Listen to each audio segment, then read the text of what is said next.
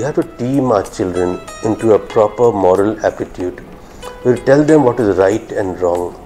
We have to gear them up in their studies. We to tell them the importance of studies in their life and also of games and sports and other talents that they have in them. Only when we deep, dig deep into these students will we know how talented and how good they are. We may classify them as naughty, but not all children are naughty. And even if their naughtiness is there, it is just because they are children, which they will get over very soon.